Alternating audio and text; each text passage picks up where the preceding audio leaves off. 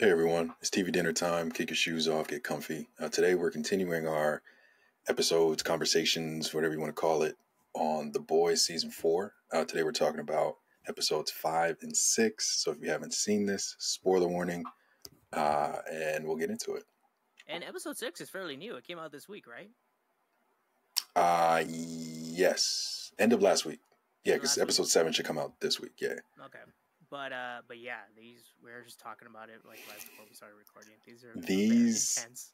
these felt like episodes of The Boys. Yeah. Like the first four episodes were good episodes, but they didn't feel like they didn't have that this is The Boys feeling.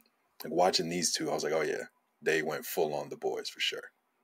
and then you kind of see the story is like now a little grander scale because you're Mhm. kind of seeing a little bit of like I, I still I don't know if like a lot of people like watching like basically our like political kind of like history in front of Oh, us play out like, with or, like, superheroes, sort of yeah. what's happening basically so like I know a lot of people kind of state it's like it's very hard to watch the news and Mm-hmm. because it's like all the same stuff so it's like I wonder if like other people those people those same people watch media like this and it's like Mhm. uh like this is the reason why i didn't watch the news but so that's like probably one criticism where it's like it's hard but when you get past that you're like this is a very good show like Yeah. just, like it, it hits I think it gives a nice perspective. Like it gives you the political side of things. At least this season. P- previous seasons really didn't do that.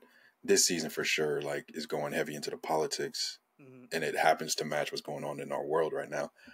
and they're Uh, like we never planned for that but exactly. But I want to. I think these two gave us a better perspective on like what the superheroes are going through, which was cool. yeah it was chaotic, chaotic as hell, but it was cool. Yeah, like each individual superhero, like it, it kind of gives like a little tidbit of each what's everyone's stake inside of Mhm. the story, and then also what's everyone's like reasoning to be very protective of themselves. And so Yeah. you see Homelander, Homelander's very protective of himself, but also of He's like, trying to be protective of his son, but Yeah, and like everything else, like it was a very poignant like sentence that he said to his son when he was like walking out, and he was Mhm. like, "Just remember, it's it's just us on this earth, and Yeah. and not them and stuff." Like it was very like, you know, it's just us two. we're better than like they're here, but eh, yeah, like they're just We're more better. ants that we have to deal with. we're gonna squash them like bugs. It's like it's whatever. yeah. I, I like that dynamic. I, I like the dynamic between Homelander and his his son, and It's growing on me because Yeah, I think the son is still. It was tough because to go from from the son being with his mom and being with Butcher, and then to see how crazy Homelander was getting, and you're like, oh, this kid was in this nurturing home, and now he's meeting his father, and his father's going absolutely insane. So it, it took me some time to kind of warm up to that. I'm still not because it's Homelander. I'm still not fully warmed up, but it, it's it's looking a little bit better. the dynamic is is interesting to watch because you see that at first he was seeing his dad as like an evil person, but now Mhm. There's that little switch where it's like it's sad to to see because it it shows that like children are very impressionable and stuff and Yeah, can can change on a, on a flip of a dime, but it, it like him Homelander instructing his child to like teach him a lesson and everything, Mhm. but in like a way to like oh like this is for the for for the good the greater her good. and Yeah. everything like you're saving her. Yeah, it was very interesting. Oh, I just looked at my notes. So when I was watching episode six, uh, the for whatever reason the the thought of did Homelander draft his son to the seven before LeBron James drafted his son to the Lakers came into my head.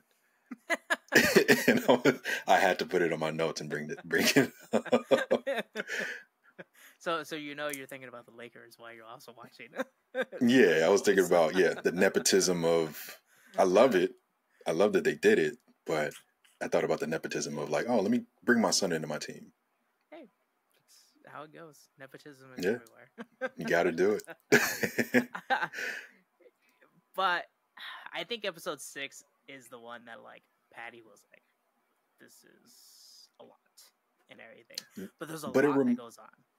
Yeah, well, it reminded me of the uh that hedonistic party that they had in in season three, Yeah, where it was just craziness happening every square inch of that house. This was, I can't say it was a little bit more tame, but it was still like, what the hell am I watching?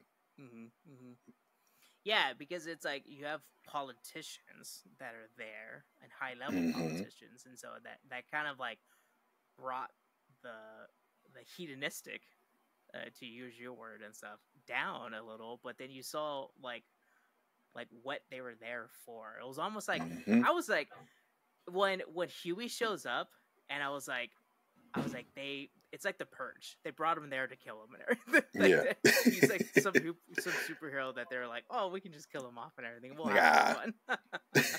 Which they kind of did, but they definitely did.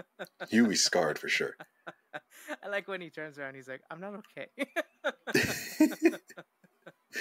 but that was like that that moment of like that situation happened to him but also him dealing with his father's death like all of that just came at once and it was just like okay i'm getting hit by a ton of bricks right now Did you think that that was the outcome that he was gonna have to come to? with his with his dad Yeah, like killing, basically killing his dad. With like, yeah i think he had already kind of came to that in the previous episode where he decided not to give him the v and then it slipped out his pocket and he he got the v so i think he already so. knew yeah i think he already knew like okay this is what has to happen. Like he has to he has to pass away. Like that's the only way for him to be I guess it cemented that like it it cemented that decision when his powers showed in a very like he had a a, a unique power that like Mhm. oh if he can't control it then he's like killing a bunch. But it almost kind of like that's like what you assume with all these super superheroes that they just end up like they're like kids that are like trying to ride a bike they're gonna hurt themselves or whatever. It's just these people end up hurting other people and stuff. Yeah. like, i think it was the fact that his like his brain wasn't like wasn't functioning properly either. He was memory loss didn't remember hughie as an adult didn't remember the wife. Um i remember the wife when they were going through their their situation with the divorce. Yeah. which is a, the worst time to remember somebody when you And- have powers to like, kill a bunch of Yeah. and not even knowing how to use the powers like trying to figure out the powers and then seeing this person that is a villain to you in that that time of your life and just being like okay i'm gonna kill this person for sure It was a very sad scene. I turned around and I turned to Patty and she was like crying. Mhm. She's like, "Why? Oh. Why did that?" I was like, I wasn't was expecting it. sad. yeah I, don't- I don't know. I, yeah, I wasn't expecting it either because you thought like, but it go it it went into like you thought he was gonna like fight for him to continue. To, Yeah. Oh, I don't know. I thought the I thought he was gonna try to like take him back to like their like the boys' headquarters and stuff, and i thought so too try to to like give give him the virus, but then that would still end up killing him anyways yeah and everything. like i thought maybe he would take him out of the hospital and take him back to their headquarters so that he had a place where he can like learn and like hone his powers Mm. Yeah, and hope right? and hope that was gonna help save him but yeah. yeah, that did not work out but it came to that. Yeah. Sad. Simon Pegg had had powers just for one minute, and then brief we didn't even talk about the uh the farm oh man, Jesus Christ! Yeah, that felt there was a lot like going on with that too. that felt like an episode of south park as it was going down i'm like south park did something like this but just not seeing it animated it's never as bad as seeing it like with real life Yeah, people right. in cgi so like watching that and watching these crazy souped up v up chickens and sheep it was like Chicken, what the hell a bull for some little Yeah, the bull until the sheep was- tore him up. now, to get my thought process correct with that, so they were Mhm. trying to like figure out how to like replicate and make the virus stronger, but Mhm. then one of the animals got out, and then started infecting the rest of them with V. Yeah, I think it was I like guess. airborne. Oh, okay. So then I was like, man, like were they just like injecting a bunch of the animals on on the farm and like, all right, let's just see what happens and everything. Let's see what happens. What do you um what do you think's gonna happen to Butcher now that you found out he's absolutely insane? I, man. So I, th- I, I was like, basically they did the Sixth Sense. Mhm. Sixth Sense happened and everything, and you're like, holy crap, that was Bruce Willis the whole time. Yeah. It got it got me though. Like I wasn't expecting him to not be talking to Negan that entire time. yeah. So like- where like once Negan like reacted to the wife or the, the Yes. the- I was like, whoa, like Wait, what? like does everyone else see her or what? And That- like yes. started to like process in my mind. Like, Everything That's started to dissolve and I was crazy. like, "Oh shit." Like Butcher is losing it. Cuz like we knew the wife, like we knew she wasn't there, but we didn't know anything about Negan. So like, True, watching him like speak to Negan, it's like, "Oh, okay, cool. This is one of his old buddies." And then that, like you said, that reaction of him seeing talking to the wife, I was like, "Wait, what? Wait, what just happened?" Yeah, oh my god, I was like, even Patty was like, "Holy crap!" And that's when she was like, Mhm. "That's why I told you before this." It's like we we watched the two episodes yesterday, and she was like, "I'm only gonna watch one episode." So we're sitting down Yeah. to watch episode five, and then it ends, and she's like, "No, I can't. I can't not watch episode six. and then she was like, "I shouldn't have watched episode six. she's like, "I've seen too much." but now she's invested. Now she has to watch the last two also. Yeah, I think so. She's gonna have to watch the last two and everything, and and but that's what's funny because it's like I see myself going out of my way to watch this this show, Mhm. and Patty, she's like she's like like she watches Bridgerton, but she goes and watches this this show. Yeah. So it's like she's not gonna go out of her way to like watch like a very like gruesome or like hard hitting like action thing. So no, she actually does, but but I can see someone like She watches mob movies. What are you Yeah, talking about? but but like someone that like likes that doesn't like this type of genre maybe like the Mhm. maybe some violence and everything i think you will still want to like invest some time in the boys because it's, Yeah. it's a generally good story they humanize superheroes.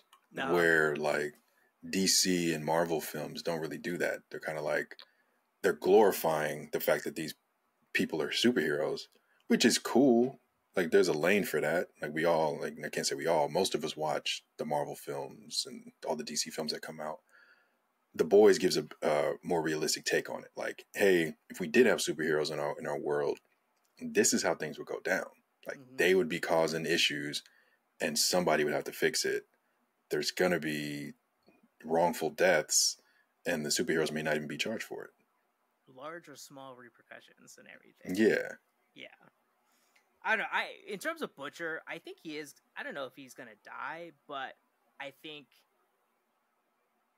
like whether or not does he force that guy that he kidnapped basically and chop his leg off to like create this Mhm. virus that's gonna kill everyone that's a superhero?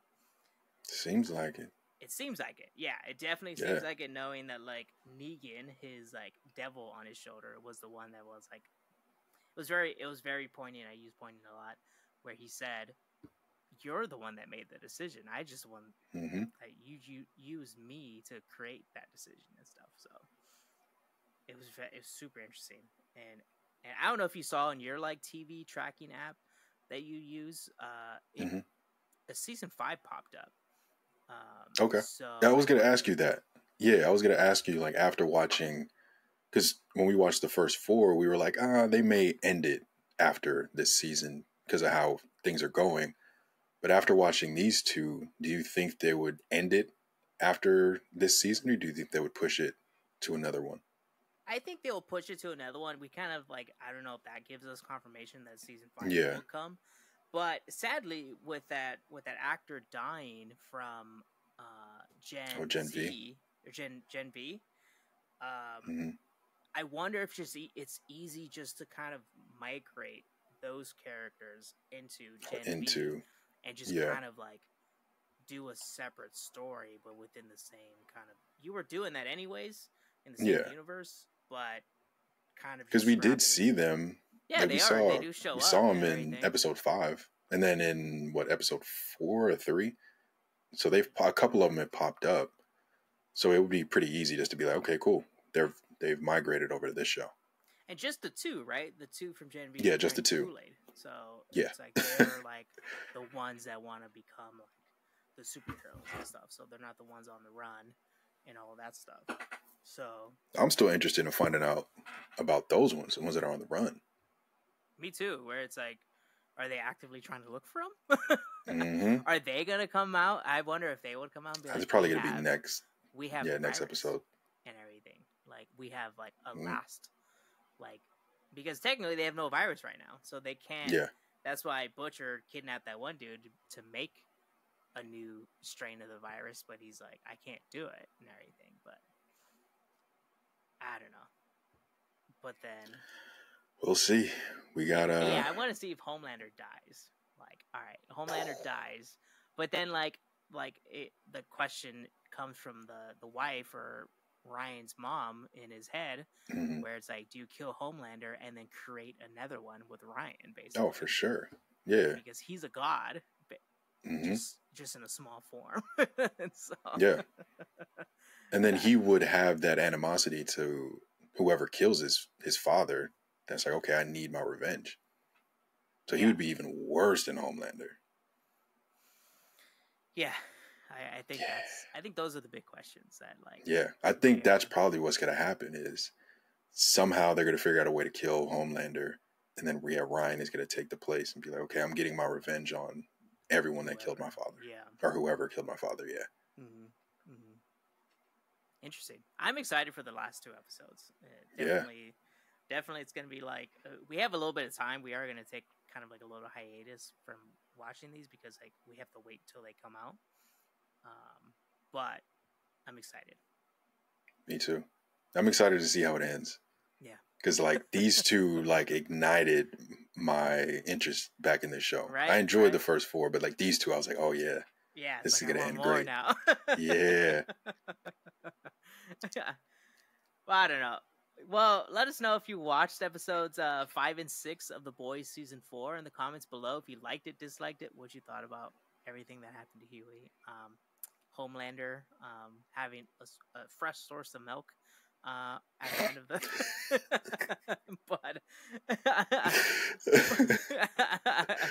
but yeah, let us know if you liked it, disliked it, what you thought in the comments comments below, and uh, please like and subscribe to Saturday Night Popcorn for more TV dinners like